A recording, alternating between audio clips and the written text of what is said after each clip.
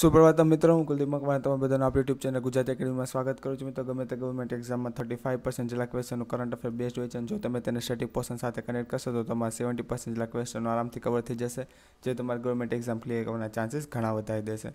તેના કારણે ધ હિન્દુ ન્યૂઝપેપરના જેટલા પણ સારા આર્ટિકલો આવે છે તે અમે તમારા સુધી રોજ ગુજરાતી ભાષામાં ચેનલમાં લઈને આવીએ છીએ. તો ચાલો આજના સારા આર્ટિકલ જોઈ લઈએ. આજની તારીખ છે ત્રેવીસ જુલાઈ, બે હજાર અઢાર. સૌથી પહેલો આર્ટિકલ છે મિત્રો જે પ્રધાનમંત્રી કિસાન સોચ સિંચાઈ યોજના આવેલી હતી ગવર્મેન્ટ સ્કીમ આવેલી છે બે હજાર પંદરથી તેની ઉપર આર્ટિકલ છે. આર્ટિકલ શું કરવા આવ્યો છે તે પહેલાં સૌથી પહેલાં જોઈ લે, જે રીતે તેના લોકસભામાં નો કોન્ફિડન્સ મોશન ચાલી રહ્યું છે, ત્યારે સ્પીચમાં નરેન્દ્ર મોદીએ આ યોજનાના ઘણા વખાણ કરેલા છે. તો તેની ઉપર આખો આર્ટિકલ આપેલો છે. આર્ટિકલ પ્રમાણે આ જે સિંચાઈ યોજના છે તેનું કામ તો બરાબર થઈ રહ્યું છે, પણ જે વોટર સેડ મેનેજમેન્ટ મતલબ કે જે આપણું પાણી આવે છે, વરસાદ પડે છે, તો જે વરસાદનું પાણીનું પ્રોપરલી મેનેજમેન્ટ થવું જોઈએ, તે જમીનમાં ઉતરવું જોઈએ, તે બરાબર નથી થઈ રહ્યું, તેની ઉપર આર્ટિકલ છે. ને શું ડેટા આપેલા છે તે પણ આપણે જોઈ લઈએ. સૌથી પહેલાં તો જુલાઈ બે હજાર સત્તર, મતલબ કે ગયા વર્ષે જે જુલાઈ બે હજાર સત્તરમાં જે પાર્લામેન્ટરી સ્ટેન્ડિંગ કમિટી છે, તેને રિપોર્ટમાં તેમણે એમ કીધેલું કે ગવર્મેન્ટે બે હજાર નવથી લઈને બે હજાર પંદર સુધીમાં પચાસ હજાર સાતસો ચાલીસ કરોડ રૂપિયા આઠ હજાર બસો ને ચૌદ પ્રોજેક્ટ પાછળ ખર્ચેલા છે, બરાબર?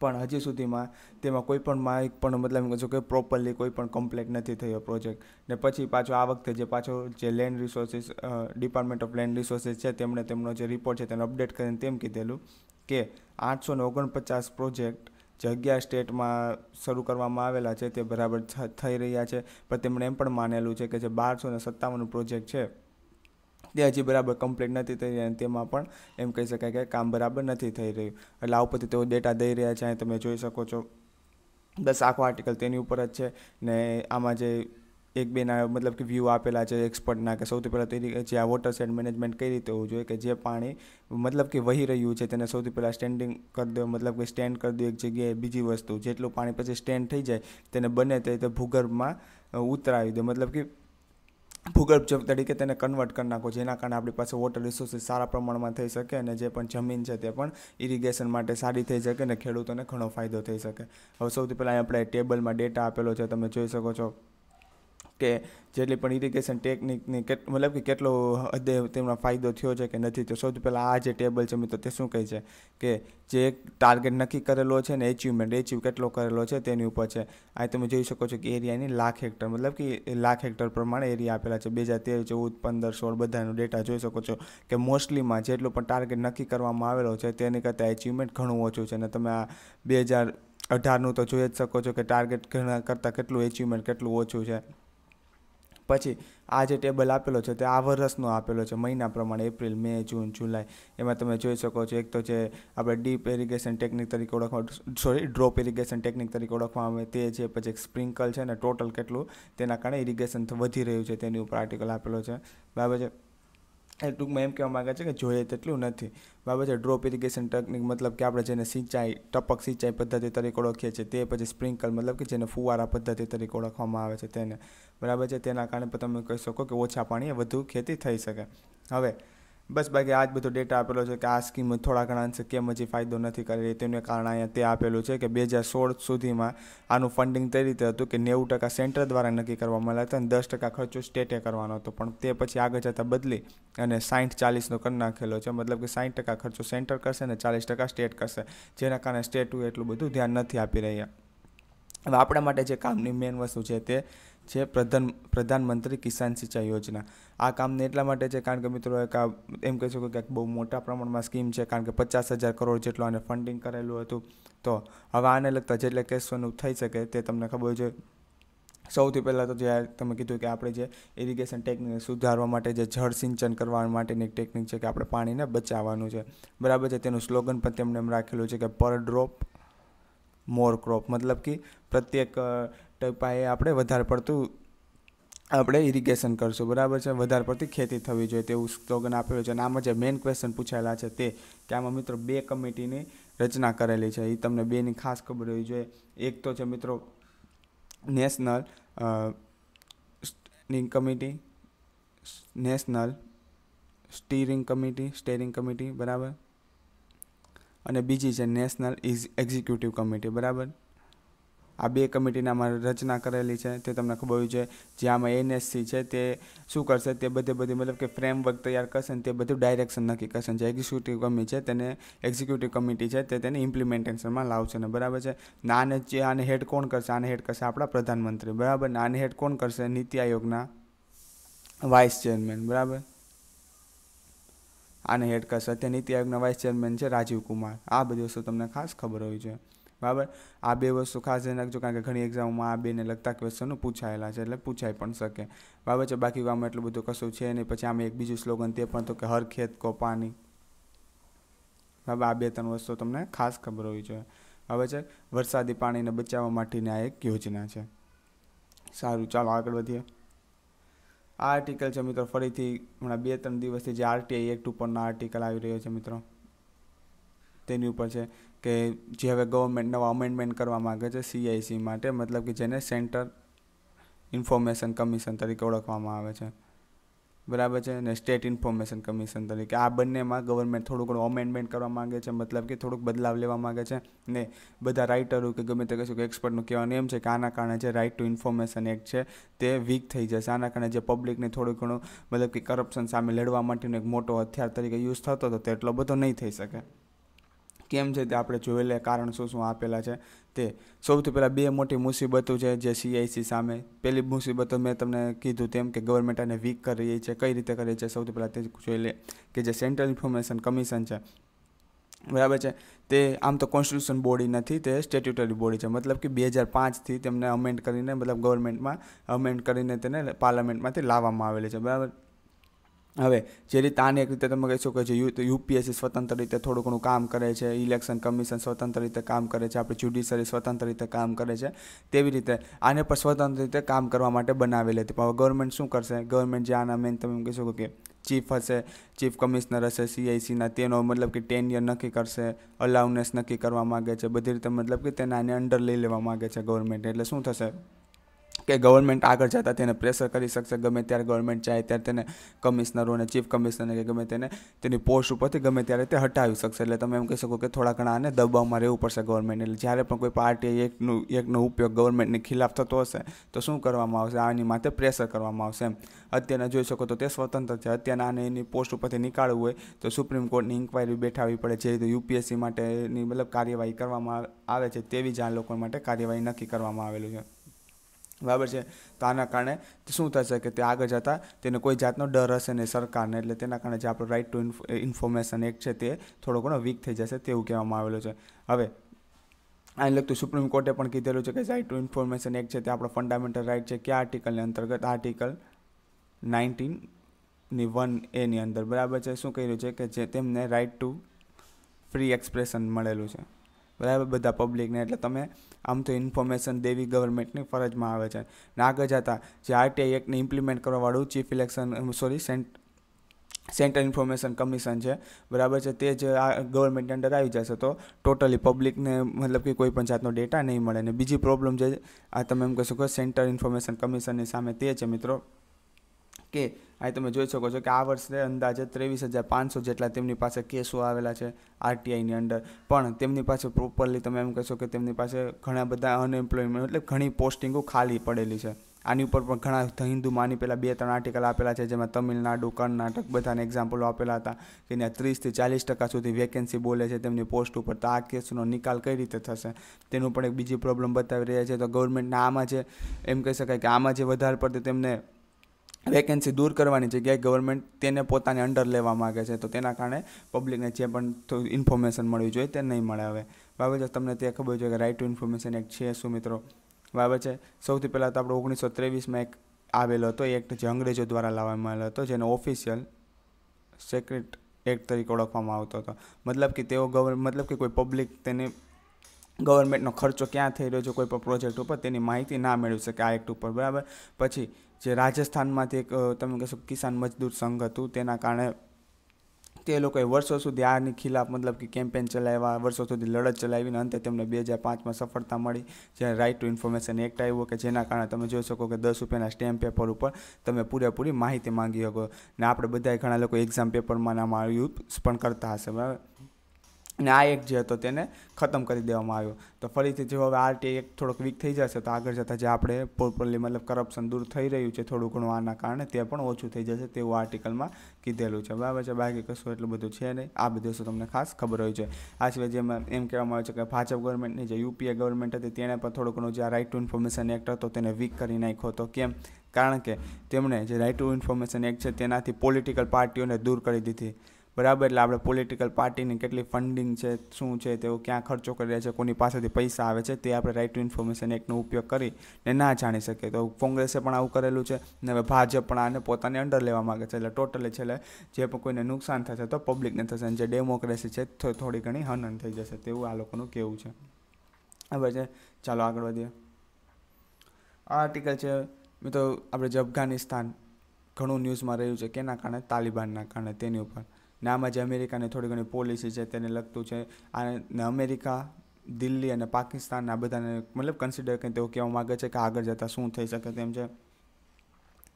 સૌથી પહેલાં, જે રીતે આપણને ખબર છે કે ડોનાલ્ડ ટ્રમ્પ થોડા ઘણા મતલબ ટેરરિસ્ટની ખિલાફ વધારે પડતા રહી રહ્યા છે. તેમણે જે પાકિસ્તાનને ઘણી વખતે મતલબ કે નારાજગી પણ વ્યક્ત કરી છે. તેમને જે એડની સલાહ સહાય આપવામાં આવતી હતી, દર વર્ષે તે પણ બંધ કરાવી દીધેલી. એટલે થોડું ઘણું આપણી ભારત માટે એક વસ્તુ સારી પણ કહેવા માગે છે.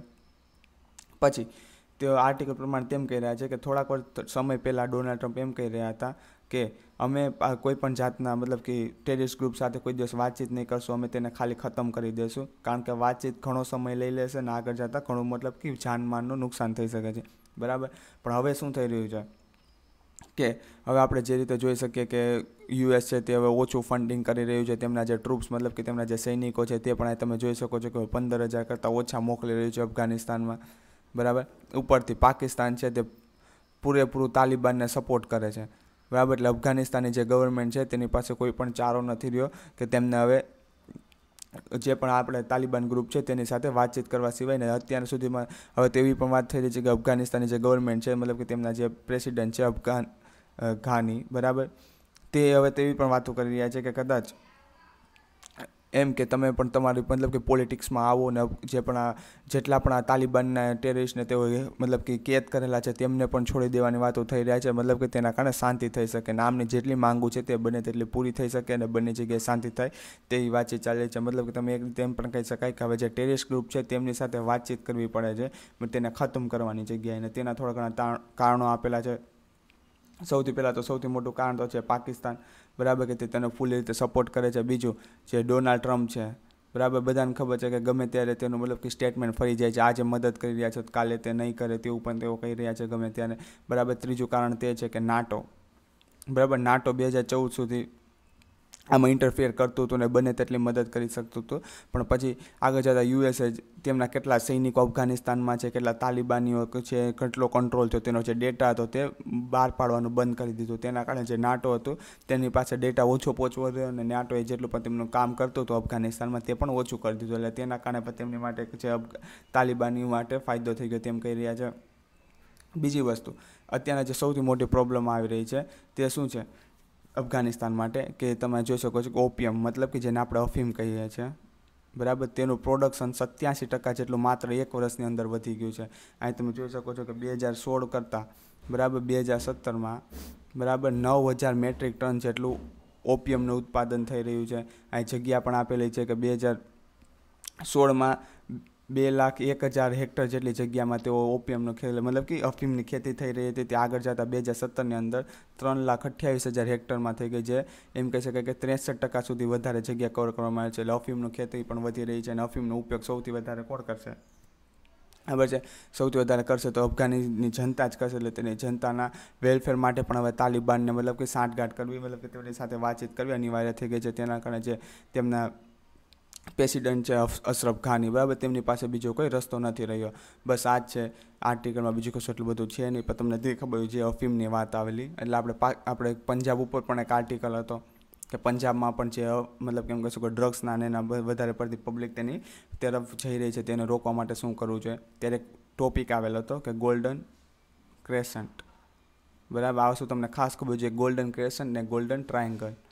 દુનિયામાં સૌથી વધારે અફીમ ડ્રગ્સ મતલબ કે જે જગ્યાએ બનતા હોય છે, તો તે આ બે જગ્યા છે ને બંને એક ભારતને વેસ્ટમાં આવેલું છે ને એક ભારતની ઈસ્ટમાં આવેલું છે. એટલે એમ કહી શકીએ કે ભારત બંનેની વચમાં છે. આ આ કયા ત્રણ દેશોની વચ્ચે આવેલું છે? આવેલું છે પાકિસ્તાન, અફઘાનિસ્તાન અને ઈરાન. બરાબર? અહીંયા પણ અફીમની સૌથી વધારે ખેતી થાય છે અને ગોલ્ડન ટ્રાયેંગલ એ કઈ, કયા ત્રણ દેશની વચ્ચે આવે છે? એક સૌથી પહેલાં આવે છે મ્યાનમાર, બરાબર? થાઈલેન્ડ અને લાઓસ. બરાબર, આ ત્રણ દેશો. મતલબ કે આપણી ભારતની બંને બાજુ તમે એમ કહો છો કે અફીમની ભરપૂર ખેતી થઈ રહી છે, જેના કારણે ભારતમાં ગેરકાયદેસર તેનો ઇમ્પોર્ટ થાય છે અને અંતે આપણી જે, આપણું યુથ છે તે તેના રવાડે ચડતું રહ્યું છે. એટલે તે પણ એક મોટી પ્રોબ્લેમ છે. તે સિવાય તમને તે ખબર હોવી જોઈએ કે તમે જે પાકિસ્તાન છે, બરાબર, તેને હમણાં એફ એટીએફની ગ્રે લિસ્ટમાં નાખી દેવામાં આવેલું છે. બરાબર છે? એફએટીએફ શું છે? ફાઇનાન્શિયલ એક્શન ટાસ્ક ફોર્સ મતલબ કે કોઈ પણ જો દેશ કોઈ પણ જાતનું મતલબ કે ટેરરિસ્ટ ગ્રુપોને ફંડિંગ કરતું હોય તો તેની માટે એક્શન લેવામાં આવે છે. તેની બે બે લિસ્ટ હોય છે. એક બ્લેક લિસ્ટ હોય છે અને એક ગ્રે લિસ્ટ હોય છે. પણ ગ્રે લિસ્ટમાં આવી ગયું છે અને હવે જો તે એક્શન નહીં લે, તો આગળ જતાં તેમને દસ જેટલી એક્શનો લેવાની કીધામાં આવેલી છે. પાકિસ્તાને જો તે એક્શનો નહીં લે, તો તે બ્લેક લિસ્ટમાં જતું રહેશે અને તેને ઇકોનોમિકલી રીતે બહુ વધારે પડતું, મતલબ કે નુકસાન વેઠવું પડશે. એટલે બને એટલું પાકિસ્તાન હવે સ્ટેપ પણ લેવા પડશે. ને એફએટીએફ કોના દ્વારા ચલાવવામાં આવે છે? તે ચલાવવામાં આવે છે જી સેવન કન્ટ્રી દ્વારા. આ બધી વસ્તુ તમને ખાસ ખબર હોય છે. અને જી સેવન કન્ટ્રીનું હેડક્વાર્ટર ક્યાં આવેલું છે? આવેલું છે પેરિસમાં. બરાબર? જે ફ્રાન્સનું કેપિટલ છે. હવે છે, ચાલો આગળ વધીએ.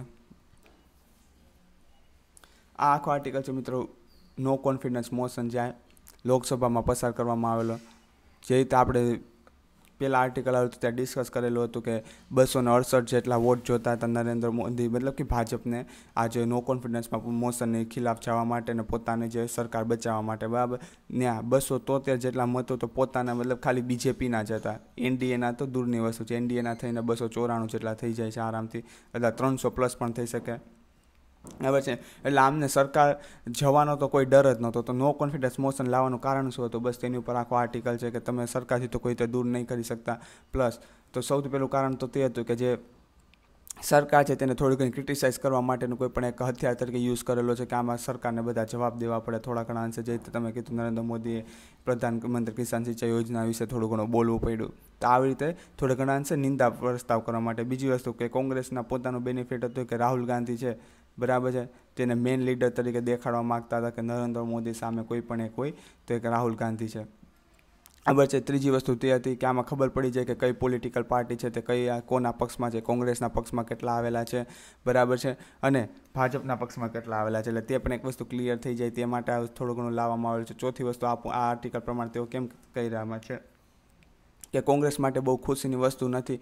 ભલે ઘણા ટીડીપી છે, તૃણમૂલ કોંગ્રેસ છે, આ બધી જેટલી પણ પાર્ટી છે આરજેડી બરાબર, તે ભલે ભાજપની વિરુદ્ધમાં છે, પણ તેનો મતલબ એમ નથી થઈ ગયું કે તે કોંગ્રેસની સાથે આવેલા છે, બરાબર? જે રીતે સૌથી પહેલાં તો નો કોન્ફિડન્સ મોશન પસાર કોને કરેલું છે? ટીડીપીએ બરાબર છે? તેલુગુ દેશમ પાર્ટી. બરાબર જે આંધ્રપ્રદેશની પાર્ટી છે.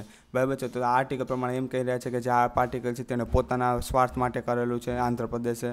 બરાબર તે કંઈ કોંગ્રેસના સપોર્ટમાં નથી. શું કરવા તેમણે પસાર કરેલું છે? કારણ કે આંધ્રપ્રદેશને સ્પેશિયલ સ્ટેટસ જોઈએ છે. બરાબર? પોતાના સ્ટેટ માટે સ્પેશિયલ સ્ટેટસ જોઈએ છે. હવે તો શું થશે કે આના કારણે થોડી ઘણી તેમને જ્યાં તેમની લોકલ પબ્લિક છે, આંધ્રપ્રદેશ છે, તેમનામાં થોડું ઘણું સારું નામ થઈ જશે કે આપણી સરકાર એટલું કોશિશ કરી રહી છે સ્પેશિયલ સ્ટેટસ અપાવવા માટે. બરાબર છે? બસ એટલે તેણે પોતાના સ્વાર્થ માટે કરેલું છે. પછી તૃણમૂલ કોંગ્રેસ છે, બરાબર? તેના જે મમતા બેનર્જી છે.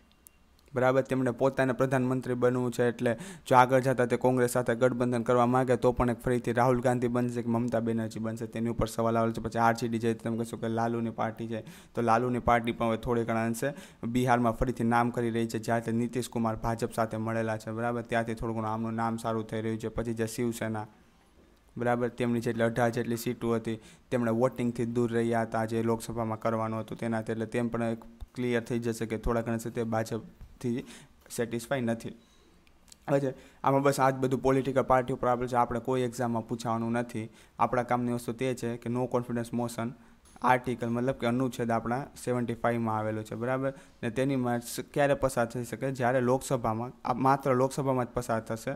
બરાબર છે? પચાસ મેમ્બરો સાઇન કરીને તેમના જે સ્પીકરને આપશે અને સ્પીકર એપ્રૂવ કરશે. ત્યારે નો કોન્ફિડન્સ મોશન પસાર થઈ જશે અને પછી ગવર્મેન્ટે ફરીથી એક રીતે એક હથિયાર છે કે તમારે કોઈ પણ ગવર્મેન્ટને પાડવી હોય, જ્યારે ગવર્મેન્ટના કામ બહુ ખરાબ થઈ ગયા હોય, ત્યારે નો કોન્ફિડન્સ મોશન પાસ કરવામાં આવે છે. અને તેમને પ્રોપરલી સીટું ના મળે તો તેમની સરકાર જતી રહે છે. બરાબર છે? વસ્તુ ખાસ ખબર હોવી જોઈએ. ને આને જ લગતો એક છે સેન્સર મોશન, જેને નિંદા પ્રસ્તાવ તરીકે ઓળખવામાં આવે છે. બરાબર? આ કોઈ પણ મિનિસ્ટર સામે હોઈ શકે કે પૂરા ગ્રુપ ઓફ મિનિસ્ટર સામે હોઈ શકે. આ આખી સરકાર સામે હોય, એટલે મતલબ કે પૂરેમાં પૂરી કાઉન્સિલ ઓફ મિનિસ્ટર સામે હોય છે. બરાબર? ના પસાર થાય તો ગવર્મેન્ટને મતલબ કે સૌને બધાને રાજીનામું આપવું પડે અને સરકાર પડી જશે અને આમાં એટલું બધું કશું છે નહીં. બરાબર? આ વસ્તુ ખાસ ધ્યાન રાખજો. ને આ આર્ટિકલ છે ફરીથી મિત્રો, જે ત્યાંના ડોનાલ્ડ ટ્રમ્પ હંમેશા ન્યૂઝમાં ન્યૂઝમાં જ રહેતા હોય છે, તેની ઉપર જ છે કે ટ્રમ્પ અને જે પુતિનની મિટિંગ થઈ, સૌથી પહેલાં કઈ જગ્યાએ થઈ? હેલસિંકીમાં થઈ. બરાબર? તે ફિનલેન્ડનું કેપિટલ છે, આ વસ્તુ ખાસ ખબર હોવી જોઈએ. બરાબર? કારણ કે આ મિટિંગ ઘણા ખરા અંશે ન્યૂઝમાં છે. તો શું છે? હવે ટ્રમ્પ મોસ્ટલી બે વસ્તુના કારણે ન્યૂઝમાં રહી આખી આખી મિટિંગ પહેલી વસ્તુ તે કે જે બે હજાર સોળમાં ઇલેક્શન થયું હતું આ અમેરિકામાં બરાબર? તો તેમ કહેવામાં આવેલું છે કે રશિયાને હેક કરવું એ ઘણું ખરું. મતલબ કે ઇલેક્શનમાં મતલબ કે તેમને પણ તેમનું મતલબ કે ઇન્વોલ્વમેન્ટ હતું ને તેના કારણે ડોનાલ્ડ ટ્રમ્પ જીતેલા છે. તો તેની વચ્ચે થોડી ઘણી તેમણે ચર્ચા કરેલી બંને લીડરોએ એમ કહેવામાં આવેલું કે આવું કશું હતું ને બીજી વસ્તુ તે હતું કે ટ્રમ્પે એમ કીધેલું કે જો તમારે ખરેખર તે સિવાય પણ જેટલા બાર જેટલા ઓફિશિયલ હતા, તેમણે જે એમ કહી શકાય કે અમેરિકાના ખુફિયા ડેટા હોય તેને લીક કરેલા છે. બરાબર? ત્યારે ડોનાલ્ડ ટ્રમ્પ એમ બોલેલા છે. કે તમારી જે રશિયાની એજન્સી છે ઇન્ટેલિજન્સ એજન્સી તે અમેરિકા કરતાં ઘણી સારી કહેવાય કે તમે આવા ડેટા લીક કરી શકો છો. જ્યારે અમારામાં એટલી કેપેસિટી અમારી એજન્સીમાં નથી કે કશું કોઈ ડેટા લાવી શકે. એમ કે તેમણે જે તેમની ઇન્ટેલિજન્સ એજન્સી છે તેની ખિલાફ ઘણું ખરું બોલેલા છે. બરાબર? તો આ બે વસ્તુના કારણે વધારે પડતો રહ્યો. આના કારણે ડોનાલ્ડ ટ્રમ્પને ઘણું ક્રિટિસાઇઝ પણ સહન કરવું પડ્યું કે તેમણે પોતાની જે ઇન્ટેલિજન્સ એજન્સી છે તેની ખિલાફ બોલેલા છે, બસ તેનું ઉપર જ આખો આર્ટિકલ છે. હવે શું કહી રહ્યા છે સૌથી પહેલાં? તો ડોનાલ્ડ, જે અમેરિકાની ઇન્ટેલિજન્સ એજન્સીઓ છે, તે તેમ પણ કહી રહી છે કે જે અમેરિકાનું જે ઇલેક્શન હતું, તેમાં રશિયાનું ઇન્વોલ્વમેન્ટ સો ટકા હતું. બરાબર? તો હવે ડોનાલ્ડ ટ્રમ્પ પોતાનું જે ઇન્ટેલિજન્સ એજન્સી છે, તેને ખોટી પાડી રહ્યા છે. તો આમણે એક એક્ઝામ્પલ આપેલું છે કે આજે થોડાક પંદર વર્ષ જેટલા પહેલાં, બરાબર છે, ઈરાનમાં સદ્દામ હુસેન હતો બધાને ખબર છે, તો તે તેમણે અમેરિકાની ઇન્ટેલિજન્સ એજન્સી એમ કીધેલું કે તેમણે જે પણ તેમણે એમ કહ્યું કે માસ ડિસ્ટ્રક્શનના વેપન ક્રિએટ કરેલા છે, બરાબર? તેના બેઝ ઉપર જે ઈરાન છે તેની ઉપર એટેક કરવામાં આવેલું સદ્દામ હુસેનને ફાંસી તક આપવામાં આવેલી, બરાબર? તો આ લોકો એમ કહી રહ્યા છે કે તમે એક બાજુ ઇન્ટેલિજન્સ એજન્સીની ડેટાને સો ટકા સાચો માનીને આમ ઈરાન ઉપર ગમે તેમ કરી શકો, ને જ્યારે પોતાની ઉપર વાત આવે તો તમે તેને ખોટી ઠેરાવી દો છો. પછી બાકી આખા આર્ટિકલમાં તેમ જ લખેલું છે કે આ વસ્તુ જેમ કહી શકો કે કોઈ પણ બે, કોઈ પણ દેશના ઇલેક્શનમાં, બરાબર? કોઈ ત્રીજો દેશ કોઈ દેશ મતલબ કે બહારનો દેશ મધ્યસ્થી બને અને તેના ઇલેક્શનમાં ગોટાળા લાવી દે. તો આ નવું નથી. આખા આખા બધા ડેટા આપેલા છે કે આવું પહેલી વખત નથી થયેલું કે અમેરિકાના ઇલેક્શનમાં હોય કે રશિયાના ઇલેક્શનમાં હોય. છે? આ એક ડેટા પ્રમાણે તમે જોઈ શકો છો કે ઓગણીસો અડતાલીસથી લઈને બે હજાર સુધીમાં અમેરિકાએ એક્યાસી મતલબ એટી વન જેટલા દેશોના ઇલેક્શનમાં તેમણે મતલબ કે ચીટિંગ કરાવેલી છે ને કોકને જીતાડવાનું કોઈ જીતવાનું જગ્યાએ બીજું જીતેલું છે. તે સિવાય રશિયા માટે પણ ડેટા આપેલો છે. તેમણે રશિયા અને યુએસએસઆર માટે કે ઓગણીસો નેવુંથી લઈને બે હજાર સુધીમાં, બે હજાર નવ સુધીમાં અંદાજે છવ્વીસ જેટલા ઇલેક્શનોમાં રશિયાએ મતલબ કે વચ્ચે રહીને થોડા ઘણા જે રિઝલ્ટ હોય છે તેને બદલાવ લાવી દીધેલા છે. એટલે બસ આર્ટિકલ તેની ઉપર જ છે કે રશિયા અને જે અમેરિકા છે, બરાબર? આ બંનેની પહેલાંથી ફિતરત જ આવી રહેલી છે કે વચ્ચે પડીને કોઈ પણ ઇલેક્શનમાં જે રિઝલ્ટ આવતા હોય તેની જગ્યાએ બદલાવી નાખવા. એક વખત રશિયા સાથે પણ થયેલું હતું કે જે તેમને political party thirty two percent ને થર્ટી ફાઇવ પર્સન્ટ જેટલું. મતલબ કે પહેલાં જે વોટિંગ થતું હોય તેના પ્રમાણે જીતવાના ચાન્સીસ હતા. તો જે થર્ટી ફાઇવ પર્સન્ટ ચાન્સીસમાં જે ત્યાંના પ્રેસિડન્ટ હતા યેસલેન બરાબર? તે થોડા ઘણા અંશે એમ કહી શકો કે અમેરિકાને ફેવરમાં રહેતા હોય છે, તો અમેરિકા તેને જીતાડવા માગતા હતા અને થર્ટી ટુ મતલબ કે ક્લોઝ હતું. આગળ જતાં ઇલેક્શનમાં કશું બી થઈ શકે તો ત્યારે જે પ્રેસિડન્ટ હતા બ્લિન ક્વિન્ટન તેમણે શું કરેલું? તેમણે આઈએમએફને ફોર્સ કરેલો અને જે રશિયા હતું તેને ten point two billion dollar જેટલી સહાય કરેલી. એટલે ઇલેક્શને થોડાક સમયના પહેલાં જ ના જેટલા પૈસાની સહાય મળતા, તેમણે શું કર્યું? રશિયામાં જ્યાં પ્રેસિડન્ટ હતા. તેમણે ઘણું ખરું અંશે તેમનું ડેવલપમેન્ટ કરી દીધું ને તેના કારણે તેઓ જીતી ગયા એટલે આવી રીતે ઘણી રીતે તેઓ ચીટિંગ કરેલી છે. અમેરિકા હોઈ શકે કે રશિયા હોઈ શકે. બરાબર, તેમણે જે યુક્રેનના ઇલેક્શનમાં પણ આવું કરેલું છે, તેની ટેપ પણ બહાર પડેલી છે. તે સિવાય તમે જોશો કોઈ બીજા ચીલીનું આપેલું છે, બરાબર, ઈરાનનું આપેલું છે. આવા બધા દેશોના ઇલેક્શનમાં તેઓ શું શું કરેલું છે તેને લગતો ડેટા છે કોઈ એક્ઝામને કામનું નથી. તમને જે કામનું છે તે આ કે તેમની મિટિંગ કઈ જગ્યાએ થઈ છે? હેલ્સિંકીમાં જે ફિનલેન્ડનું કેપિટલ છે. બીજી વસ્તુ રશિયા પાસેથી આપણે એસ ફોર હંડ્રેડ મિસાઇલ લેવા માગીએ છીએ. જે ઇન્ટરસેપ્ટર મિસાઇલ છે, મતલબ કોઈ પણ મિસાઇલ આવતું, કોઈ એરક્રાફ્ટ આવતો હોય તો તે તેને ખતમ કરવા માટે ડિફેન્સની સારી ટેકનોલોજી ધરાવે છે. બરાબર છે? તે અમેરિકા આપણી પાસેથી લેવા નથી દેવા માગતું. બરાબર? એટલે તેમણે એક એક લાવેલો છે કાટસા એક બરાબર? Countering America's through sanction act. બરાબર? જેના ખિલાફમાં ભારતે એમ કીધેલું છે કે આ યુએસનો એક્ટ છે, યુએનનો નથી, યુનાઇટેડ નેશનનો એક્ટ નથી. યુનાઇટેડ નેશનનો એક્ટ હોય તો અમે માનશું, બાકી અમે નહીં માનશું. ને આપણે આ ખરીદવાના છે. તે વસ્તુ તમને ખાસ ખબર હોય છે. તો ચાલો આજની વોક્યુબલરી જોઈ લે પહેલો શબ્દ છે રોગ. મતલબ કે એવિલ મતલબ કોઈ વસ્તુ દુષ્ટ તરીકે વાપરવામાં આવે છે. બીજો શબ્દ છે ચર્ન મતલબ કે શેક. કોઈ વસ્તુને તમે હલાવવું, મંથન કરવું એક રીતે. બરાબર? ત્રીજો શબ્દ છે ડોન્ટ ડિસઆર્મ મતલબ કે કોઈને કાબૂમાં લેવું. ચોથો શબ્દ છે સ્ટીપ ઇમ્પ્રોપર મતલબ કે અવ્યવસ્થિત. તો આજની માટે એટલા જ આર્ટિકલો મિત્રો લર્નિંગ ઇઝ ફન ભણવાને તમે બોરિંગ માનશો તો ક્યારેય તમે કોઈ એક્ઝામ પાસ નહીં કરી શકો તમારું ફ્યુચર બ્રાઇટ છે તે પ્રાર્થના સાથે અલવિદા.